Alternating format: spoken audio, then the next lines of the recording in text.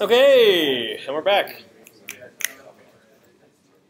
Okay, so before break, we uh, you read over the the tennis kata and thought about how about the game of tennis and how it's scored, and we brainstormed uh, first as individuals, then as pairs, then as groups of four, and then reported out as the whole class on uh, some scenarios that would validate this uh, the functionality of this kata. And then we also talked a little bit about how one might implement all of this. Sorry, I'm going to make this. There you go. Heading two. That's too big. Heading three. Now, uh, let's take some time and implement it. So, uh, to uh, help you, and, and, I'd like you to implement it in, let's try pairs uh, tonight. Don't know how it's going to work with facilities. Here again, we're going to learn. Um, so, uh, what I did to uh, help you get started was here in my Portland State uh, Java Summer 2018 uh, repository in GitHub. I created a tennis kata Maven project, which is uh, just from the, I, I used that student project, that Project Zero, and renamed things tennis. And so what it gives you is things like a tennis class, and it gives you, you know, the integration test and the unit tests and, and stuff like that.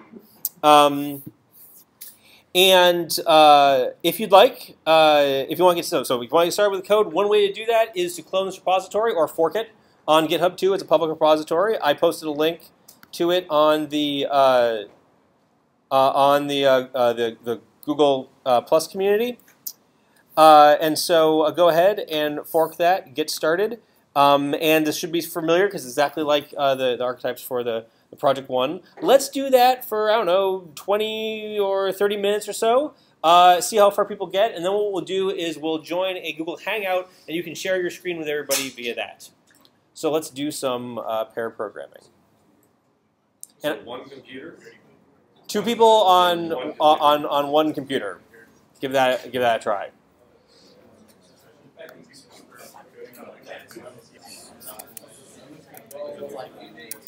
Like so how it works.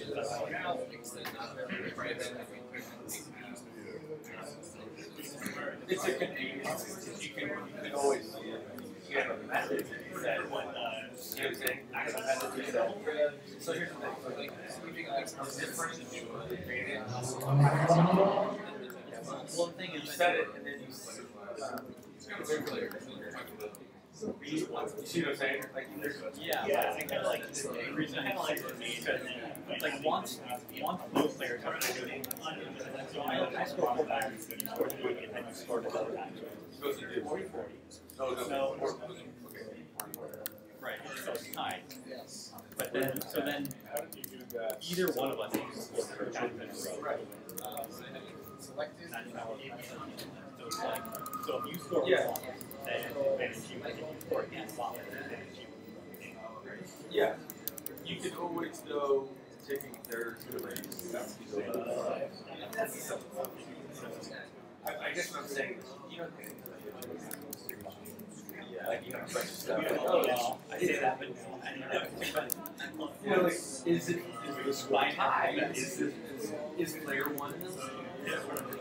So again, what time is it? Yeah, right. Exactly. We might need it. You know, and then you don't always update them, and then you look at it like, wow. You know what I'm saying?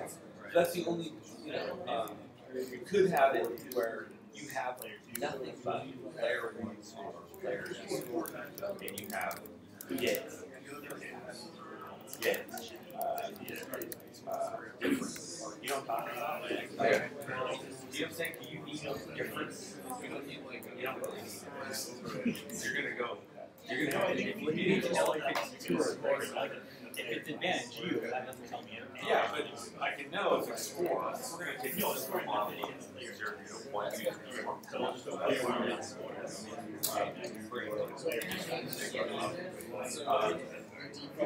different. You'll, you'll have a your method you have to do that anyways you we would want to be able to say that. I've had problems where I don't always don't. You know what I'm saying? I know.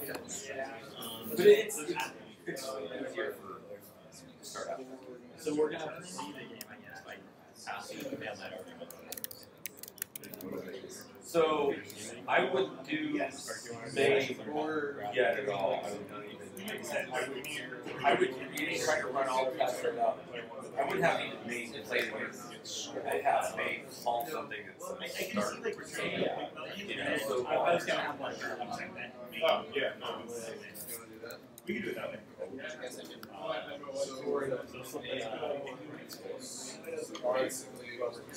Okay. Um, Uh, essentially, add score as a.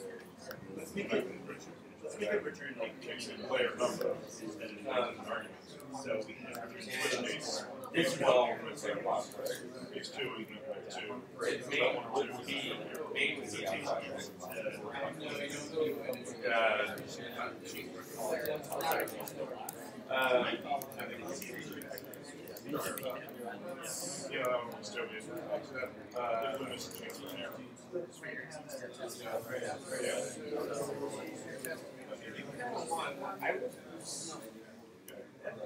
would, put main is, so this is how I would, I'm sorry, I, have to stick on this kind of stuff. So I would have, uh, tennis so you could, just one class, I would do two.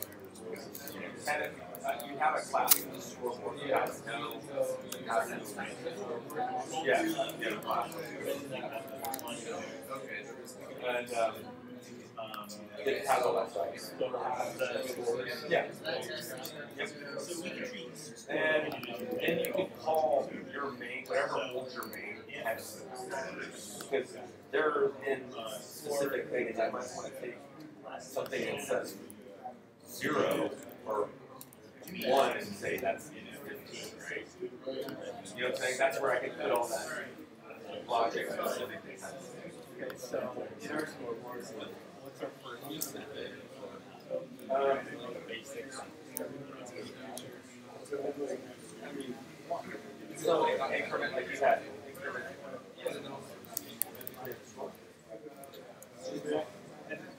And the, uh,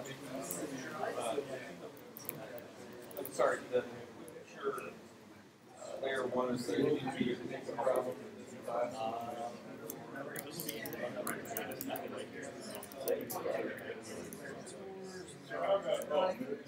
Or we would also need. Uh, yeah. And this one I don't know about traveling. I would just, I would just make probably. Well, I mean, You have to do all these kind of caters and stuff. yeah. Right? I mean, you tell them, I can do it. But, uh, like, The right way to do it. I think, I think we're looking at it. Because it's like, What's- should deal with. They have their own, you. Yeah, then how do you access it? So you would access it only by using Well, like this, uh, it's not, it's not that bad. So they're gonna. Yes.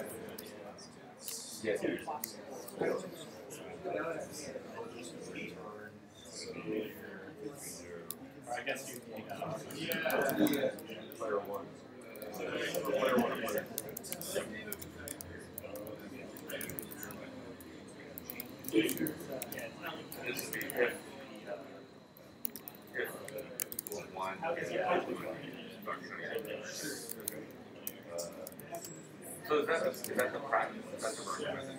Practice. Yeah, usually. So you want to have, you want to have the field, like the actual. Yeah. Right, and then that class, that class is the one you should actually, you know, um, interact with it, like incrementing the data.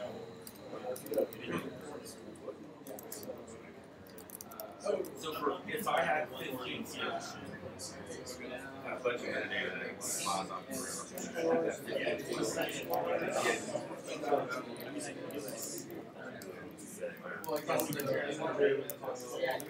Some. You a general.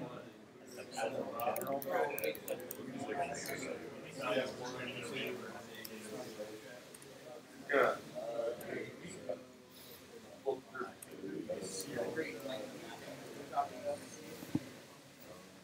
Don't know if there's a dictionary type thing.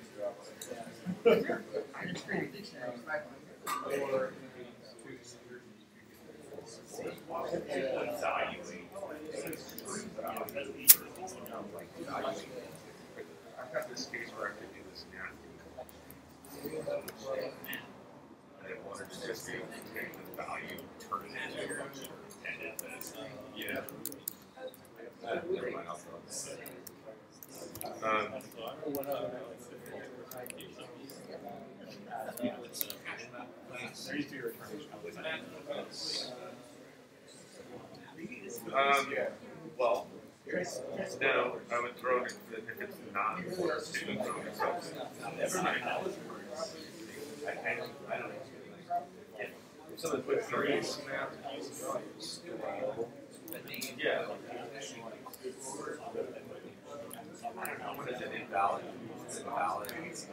We can make our, we want to make our own. What is it, generic, is there like a generic, some illegal operation? Um,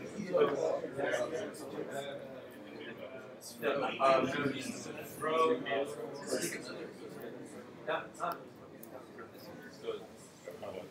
So we can just do it. So, throw new, uh, they, try to illegal operations. Capital.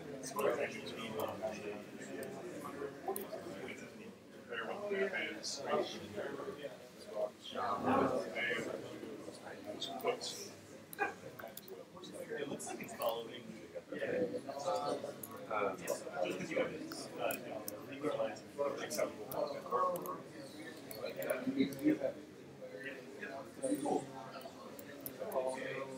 Now we got the lesson.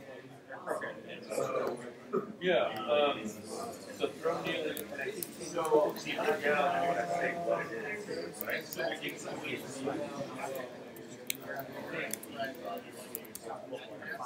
Uh, uh, you didn't select, you player one or two, or you, or you put, you put the value yeah, valid player requested a hit score, you can use the value,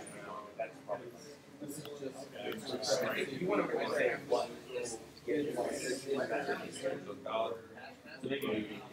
Let's, let's add it to, to word. I think it's weird to pass the other player to the method that is Uh, pass. I think let's just add to the main class. Yeah.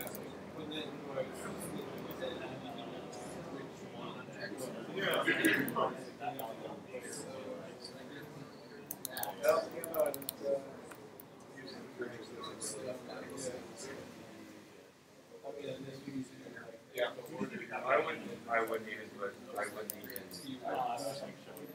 yeah, oh, yeah, you wanna get, we'll try to test. We might actually be moving away from having a player.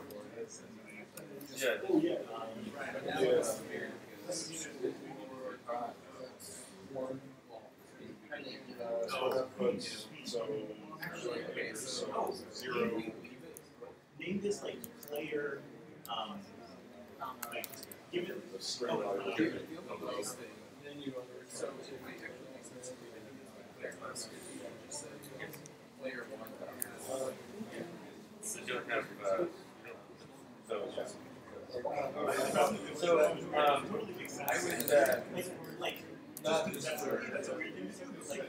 I would have a big structure. I don't think it's a problem. I don't think it means, uh,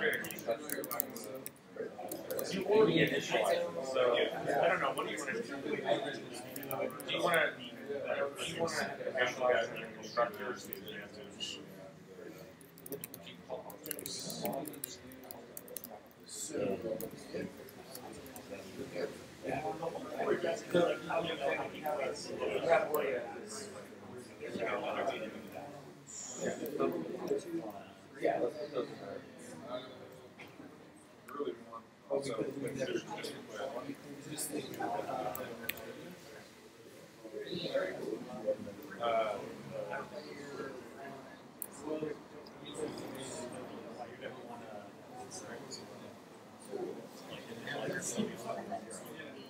So, Uh, it's a free.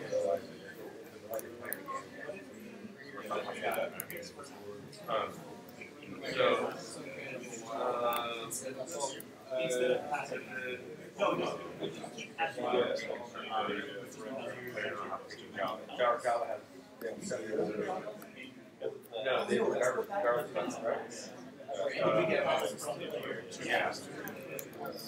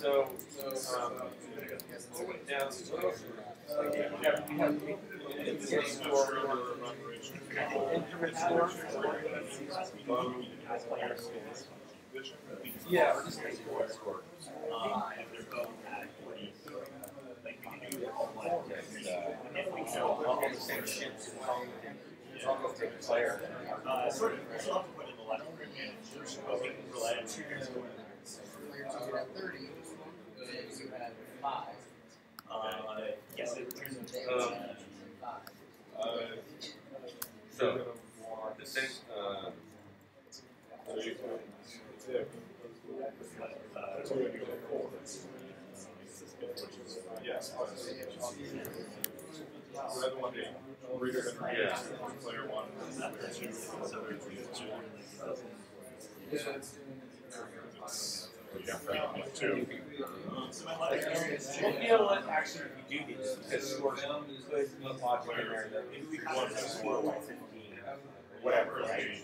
Can We're not, we're, sending in a player number, not a player, not zero.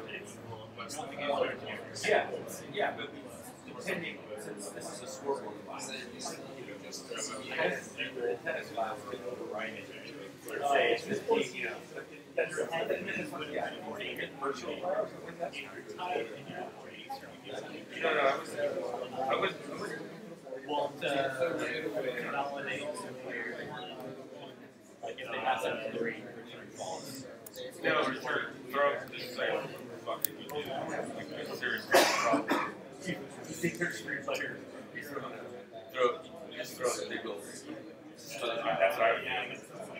Uh,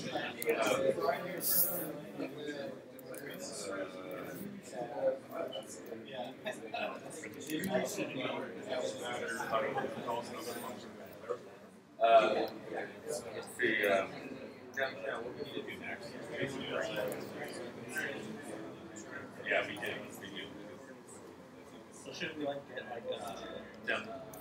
So, you don't even need base. Hey, Um, let me pause this real quick. I'm having a problem. zero, one, or two. and that's Yeah. Do this. Yeah. So Okay, whatever. uh, I mean, if you, if you don't do a random number, you can test. You can choose whether it actually has Um, Either two. commands that have the command, you can run, you run it, I mean, you can have, you can run integration tests and just, just actually game. That- That's where you have to. You have to- You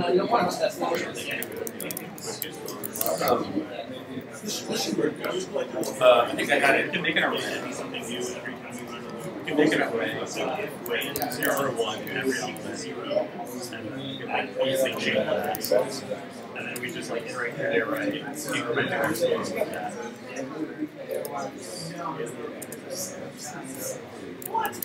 You know,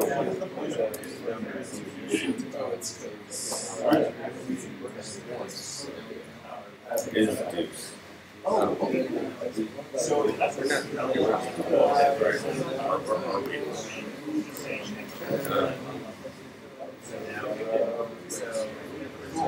Uh, one side.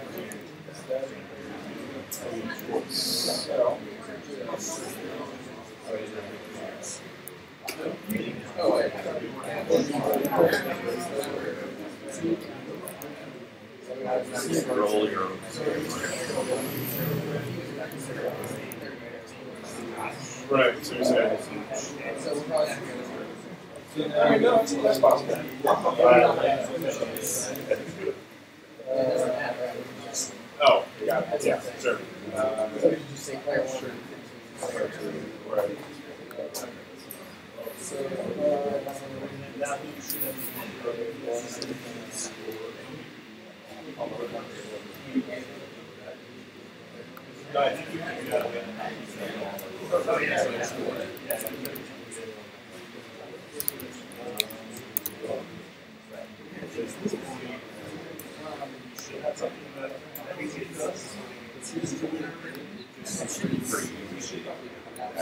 yeah, It's just art.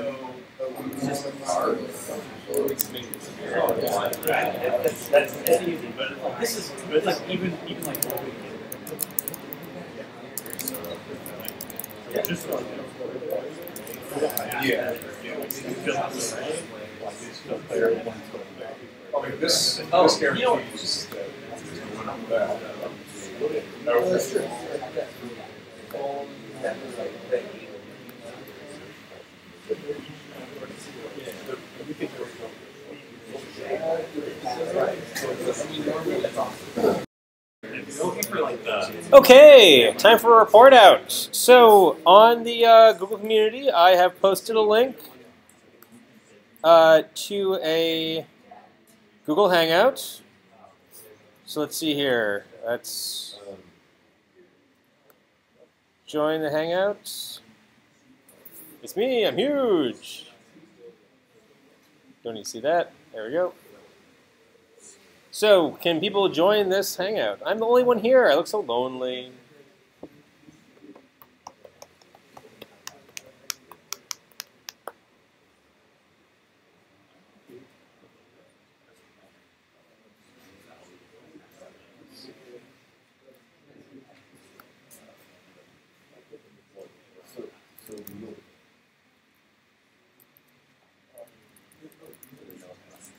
No.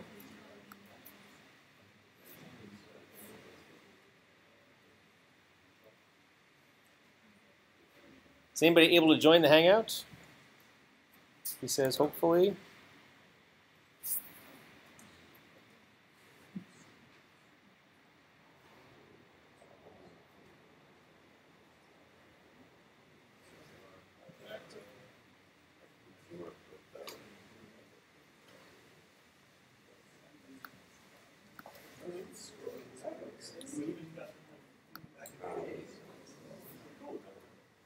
Me, I'm huge. Okay, cool.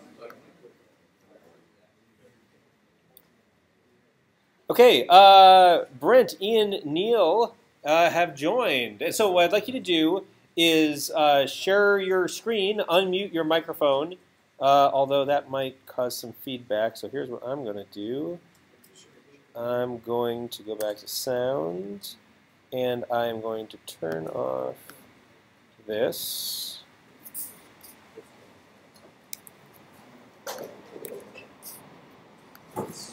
Oops. Okay. Uh, let's see here. Neil, who's Neil? Neil, how about you go first? So unmute yourself and share your screen. And you share your screen by, uh, let's see here. Oh, how come I can't share my screen?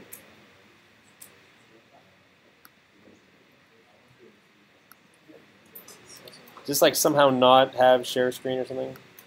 Oh no, share screen. So okay, mine looks different. So you go over to the three dots, of course, and say share screen.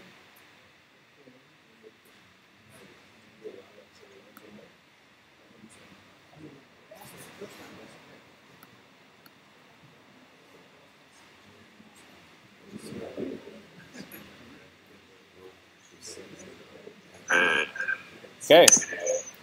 Awesome. So,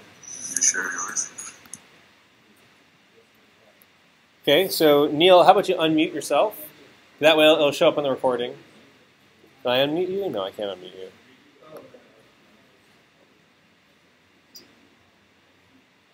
Oh, hey, pro tip. There's um, something in IntelliJ called uh, presentation mode. You can use that too. So if you go under View menu and you say presentation mode, it might be a little easier. Oh, this is an IntelliJ. Nice. Okay.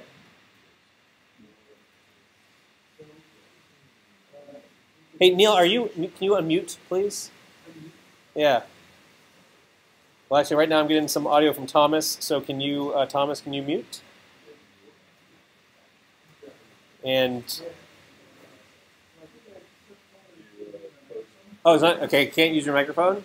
Okay, fine then. Uh, are you plugged in back there? Would you mind coming up in front of the class so we can all hear you some more? Oh, you get to use like the podium too. We'll call you Maestro. You'll be up here with your.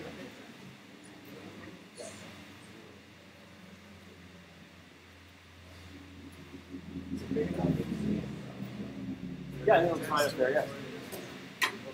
Okay. So just to. So yeah, so uh, so well, so tell the class about uh, about how you approach the program. Well. You and your team. Your, you and your. Our, our, our team. Yep. So this class just remembers two Yeah. scores and it remembers a, a reason whether the game is over or not. Uh, we have these string words we use. Uh, so words isn't being used yet. Okay. Or, yeah, I think there's a initial design plan that got abandoned. Okay. somewhere.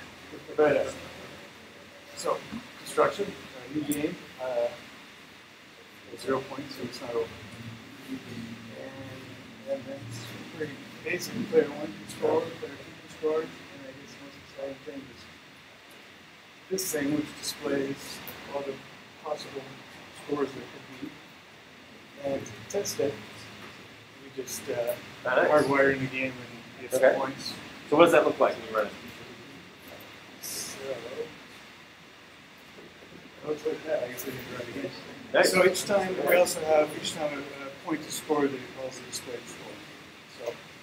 uh, player one kept scoring points after it was over, but it's actually. So great. So like your main like simulates the entire game, and is it the same game every time, or is randomness It's, involved? no, it's just we just hardwired it in Yeah. as, as a simple test. Uh, player one one points. Nice. Okay. So yeah, main main could be made uh, more fancy. But that's right now it's just for the testing.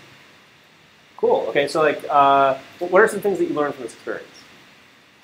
Um, well, I'm not very good at Java, so it's good. It's good, it's good practice remembering what commands to use. Uh, we had this this system out dot format. We were trying to remember Oh, yeah, how, yeah. how to do a print line using C style formatting, and then uh, somebody in our team just format rather than print line, that Smart. Okay. Good. Good. Good. Yeah.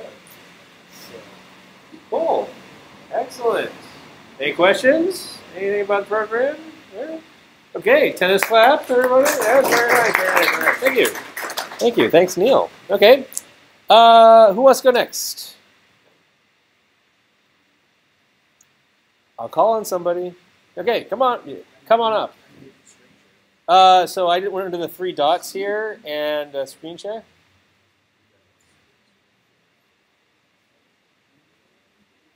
Okay.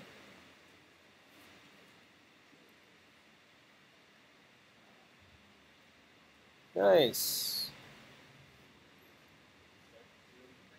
Uh, Brent. Yes. Okay. Good. Let's bring you up.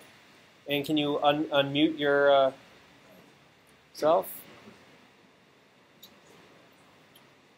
Yeah. It's uh, yeah. It's a Doctor Strange movie from the '70s. So, okay. Do you mind coming up in front of the whole class? Cool. Okay.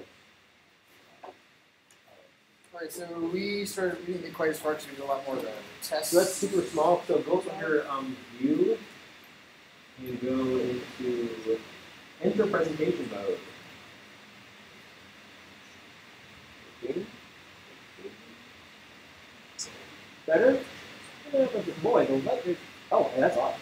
Okay, There you Um, so, so we have our uh, tennis class, which is essentially just a two individual IMS players, uh, a hash map to map between our scoring system and the actual nomenclature that's used in tennis. Um, we wrote a bunch of tests, which I don't how to get to. right Okay, so do um, uh, command N. So that'll search for a class by its name. Perhaps not. Uh, yeah, Command O maybe.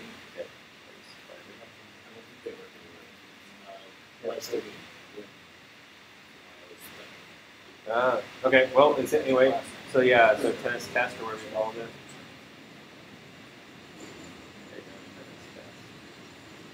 Nice.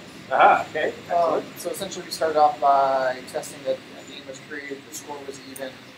Um, we have our score. Uh, we tested that player one scored increments correctly, player two scored increments correctly. So we approached it from like a really small standpoint, doing one tiny little step Ah, at a time. at a time. Yep. Um, there's the constructor initializes correctly. We increment the score. We checked that uh, the win conditions for player one and player two without getting into the whole deuce advantage thing yet. Um, so player one just outright wins, player two outright wins, all that stuff uh, ended up working. And then we were just getting to the point where we were going to get score, which was going to return a string uh, with the score. Uh, specifically in tennis, there's this weird thing where if they have the same score, they just say all. So we started by testing love all, um, and we were getting into that. So uh, that's, Ah, what do you guys have level so here's the actual code. So we started with the constructor. The only reason we have a constructor uh, is because of the mapping visualization. Apparently, if it's an int in Java, automatically sets it to zero, so you don't actually need to make it otherwise. Uh, real simple, incrementing the score, um, testing if there was a winner, uh, where is winner returns actually who's going to win, and once we had our actual play function, we were going to use that to have some kind of player one wins output. Um, this is where our get score was implemented. So the first line up here, we've got our all conditions where if it's a match and it's less than four, uh, because now we we know we're not in deuce advantage play, um, we can be there. Uh, otherwise, just output player one score, player two score. Um, we just got to the deuce condition and we stopped. Um, so we haven't done any of the advantage stuff. We. Nice. Okay, so like, what are some of your takeaways from this? So, what did you either get out of pair programming, or uh, you know, what was what, what was helpful, and what maybe hindered you in terms of writing this code?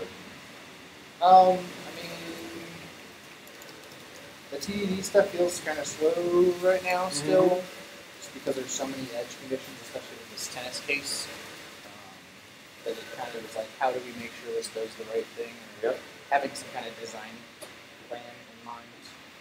Um, but the pair programming, for the most part, we were able to catch all the errors before they actually happen. Nice. Oh, that's good. Because you have two, two eyes on it. So. Awesome.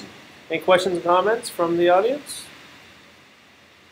If not, yay! Thank you. Yeah, thanks, Brent.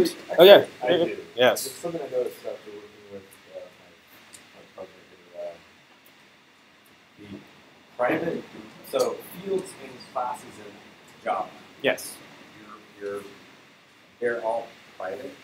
They should be private, or is it what is that a dog? That's is that kind of a preference? Or? Yeah, is my yeah my audio is being recorded. Um, so yeah, so so why should we make stuff private? I'll, I'll ask you. What do you, the viewers at home, think? Why should uh, wh- wh- why does Java? Why, why do these object-oriented programming languages have these visibility modifiers? Encapsulation. Okay, what does encapsulation mean, and what does it give you? Data hiding, right? Fr- from whom are you hiding the data? Everyone- Government. Everyone but yourself. Okay, everybody but yourself when you're private. Okay, what about some of the other visibility modifiers? What do they mean? It's like protected. What does that mean? Uh, only be modified by. I'm making it wrong. Sorry. Yeah. Protected, It's be modified by a network function. And it's not. It, um, well, pa- yeah, package is also part of it uh, in, in Java. So protected, and it's not about who can modify it, it's about who can see it, who can access it, because you can read it too. If it's you know, so so the whole idea is that uh, you, you've, got, four levels of visibility in Java. Um, the one with the least visibility is private, which means so a private method or a private um, field means that only members of the class can see it. Uh, so for private fields, what does that buy you? Encapsulation, but practically speaking, what, what, what does that mean?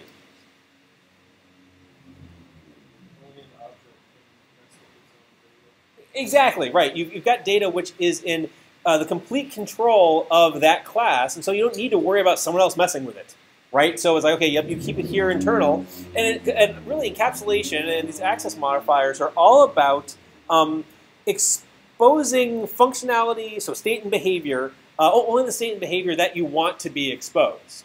So, uh, for instance, you know, hey, maybe you've got um, a value that is read-only. Or maybe that you've got a value that when it does change, you want to put some validation logic around it.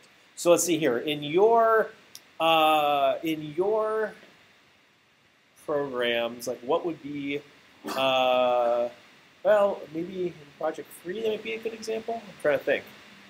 Um, let's say, okay, you know, let, let's say there was, uh, yeah, okay.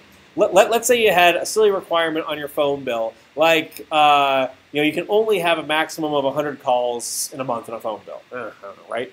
Okay, how would you implement that?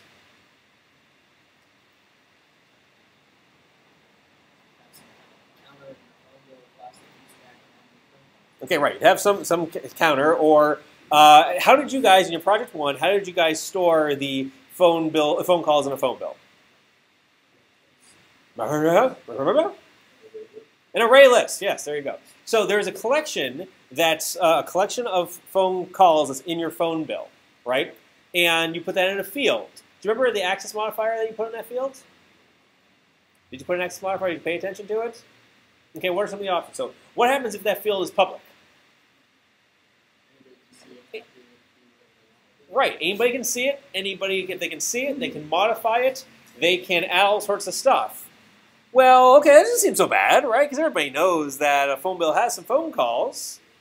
But if you had that, but if you, but, but, but how would, in that case, how would you enforce that the phone bill can have as most, as many as uh, 100 calls? You can't, right? Because that, that object, that, that array list, has then leaked outside your class. You can't be certain that uh, you can't be certain that someone hasn't gone and added a thousand phone calls to your phone bill. So, in order to implement that kind of logic, you need to encapsulate your data. You need to keep it close to you and control access to it. So that, that would be protected if you want people to see it but not modify it. No, uh, it'll um, see it but mo not modify it. No. Want, uh, what if you want somebody to be able to see? Oh, I've got only, I've got 90 calls and only have 10 calls left, but I don't want somebody else to subtract 50 from so what you so, so uh, the underlying co collection then can't get out of your site because the collection itself you can have an unmodifiable collection, but you want to be able to modify your collection under the right circumstances. So you got to control access to it. So like the add phone call method controls access to that underlying collection by that by saying, hey, this is the only code path in which you can um, in which you can add a, a phone call. And you also have a get phone call. Do you have a get phone calls? Yeah, you do, right? There's, there's get phone there's get phone calls. Now, probably the implementation that you have is you simply return your array list. Okay, uh, that you know that, that's correct and that'll work, but then it exposes it to the outside world. And so then, what are some options that you might have to still be able to answer the question, what are my phone calls, but without exposing that, uh, exposing like the internal data structure? Yep. Make a copy of it. Yep. There's also um, there's also a helper method. I think it's called collections.immutable list. And what you do is you give it uh, a, a, an array list object, or you give it a mutable, a changeable list, and then it wraps it in an implementation of list that where if you try to add to it, or if you try to remove to it, it throws an exception, and it makes it essentially immutable. And that gives you protection there. So yeah, you can make a copy of it, and so who cares if they go and modify it? It's not the underlying data. This is all about data encapsulation. This is all about good object design and good object-oriented programming right? You need to figure out what is okay to expose to people outside the class and what things ought to be kept on your own so that either you can ensure the integrity of your data or that um, you're able to modify the implementation without having to worry about what other objects might be dependent on that object. So anyway, so that's why they have uh, encapsulation. That's why they have the different modifiers. And again, there are four different modifiers. Private means that you can only be used inside that class. Um, Protected means that you can be used inside that class in any subclass and also the package. If you don't have a modifier, the default visibility is just within the package. And you've probably seen me do that in some of the tests where I'll have like a method on the class that's under test and it'll be, um, I'll change it from private to, uh, to, to package protected. And then public means that anybody who can see the class can also see that, uh, that member, that method or that field. Okay. And much more details in the object-oriented slides and stuff like that. Okay. Let's, uh, who else wants to go? Who wants to go next? Okay, you got, oh, so that was a question I didn't answer. So part of the problem, I know we're like I would like to make those player one and player two private. Yep. Testing purposes, is there a way without writing unnecessary getters to actually access those for doing tests? So, yeah. the only reason I left it. So what, what I would do, so yeah, don't, don't make it public, make it package protected. So take off so no modifier, which means that classes inside the package can see it, and your test class is inside the same package as your class under test, and so they can be able to see it. That's a very common pattern, and so that's uh, that's cool. And actually, there's an annotation that you can put on it that says "at visible for testing," which is a clue to the reader of the code that says, "Oh yeah, right. The reason this is package protected isn't because it's meant to be called by other domain code in the same package; it's because it's meant to be called by tests." Yeah, good questions. Okay, we got one more and then a break. So who wants to be the person that takes us out? Okay, you. Let's see here. Can you unmute, please? I'm sorry, and you are I'm Levi, Levi. but that's Cole on there. Cole, oh yeah. And Ms. Cole. Uh, yeah, yeah, yeah. Yeah, it- it- yeah. okay, and so if you could unmute and then share your screen.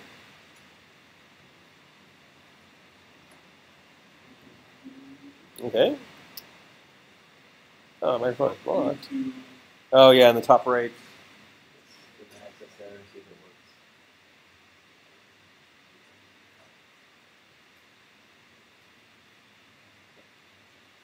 Cool. Let's see if that works. Yeah, give it, give it a try. Yeah, if it doesn't work, it doesn't work. Don't spend too much time. Oh, and so uh, who who is that? Vid or oh, sorry, Vidu. Uh, can you mute, please?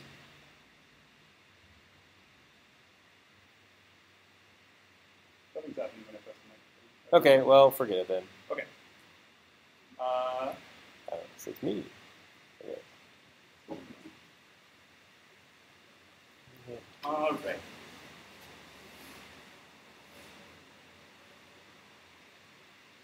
Cool. So, Uh, Yeah, uh, can we turn off lights? It is a kind of, uh, On, off, dim off, dim, dim down. all right. Oh, So for our implementation, we decided to go with a tennis class and a player class. And we kind of made all of our coding decisions around the idea of let's have an enum to represent the different words for the kind of score, and then rely on the underlying integer values to just increment them. We didn't really know what enums in Java, how they worked before this, so we did a lot of Googling to make this work, and as a result, we have some code that looks a little less clean than we wanted. But um, pretty simply, add point the bulk of the work for the program. It checks if you have the score, um, if you're equal, if someone else um, gives advantage, increments your score, whatever you need it to. And then sometimes calls a you win method that will print you win and end the game. And this is where most of the work is done. And then in the tennis class, which is pretty much our main, we have a main down here. It just does a while loop and randomly adds a point to either player one or player two. And it does that until the win method from players called at some point and ends the game that, that way. So what this looks like when we run it is just like this. So you can see it will print out the score of the player when they score, and then just it'll do that until a player has 40 points and is under the right circumstances to win. At which point you win. Uh, let's see if we can get lucky here and get an instance of multiple 40s at the bottom. There we go. It'll loop between them two just to show off that it's doing advantage, and eventually a player will win, unless some weird chance happens and we flip on the 50-50 every time, forever. And yeah, that's we Awesome. got something working by the end. Feel pretty good about it. Super cool. So you have the main. Uh, did you plan any automated tests for it? We didn't really have the time to do that. We just kind of jumped right into it Yep.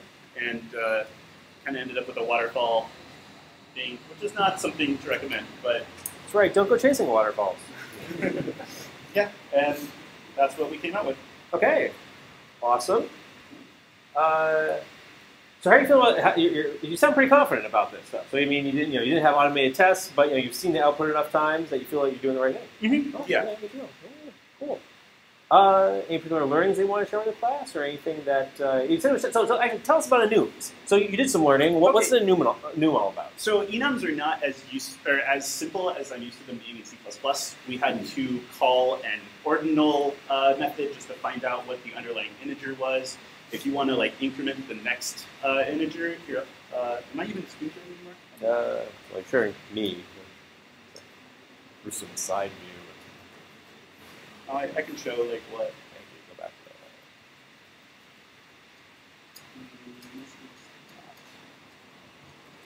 Looks like it's not. I get back to there? Should I stop screen sharing actually? Uh. Oh, you didn't click share. Oh, I didn't. Well, I don't want to share his code for the project. Oh, So, well, I've highlighted this yeah, something else. So, yeah. here.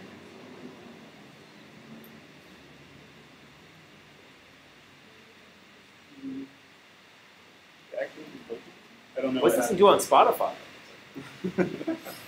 oh, here we go. I thought you said waterfalls. Eh, coincidence.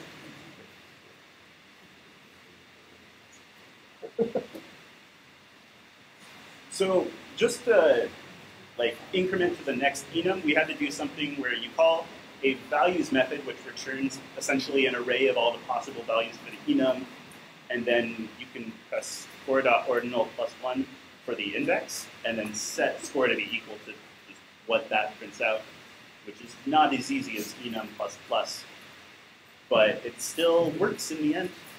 Oh, interesting. So, um, so, uh, so it's true. Like here, when you have to say that you know the score, the ordinal for the score is less than uh, less than three. So that like for me, when I read that, it's like, oh, which one's three again? So I gotta go look up there and see which one's three.